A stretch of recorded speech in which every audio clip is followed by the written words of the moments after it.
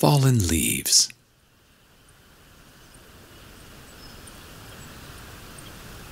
Just yesterday, the sun was shining. Golden aspen leaves glittered under the deep blue sky, while birds sang, elk bugled, and the glassy lakes reflected it all as if to say, Look at all this. It was as if the whole world had finally been set right. Then, around midday, clouds could be seen building just behind the mountains. Each hour, they grew in size and darkness until their blackness hid the sun.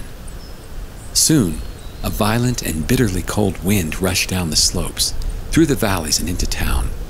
It snatched the golden leaves and hurled them to the ground. Animals took shelter, and visitors left the park as the trees groaned under the strain of the howling. This was the beginning of winter's offensive, robbing the world of color and joy.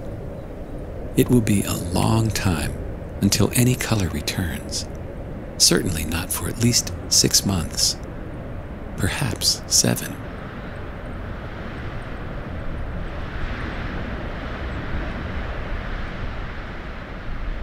We are like those leaves that are held on by a tiny brittle stem.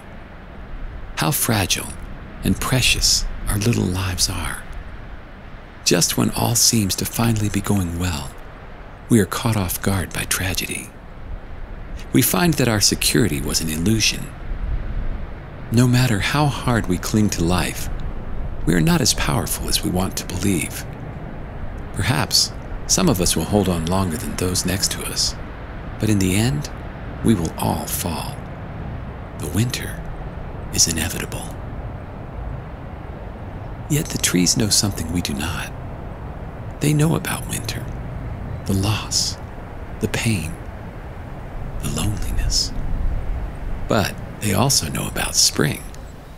They put their hope not in endless winter, but in the coming resurrection of May and June.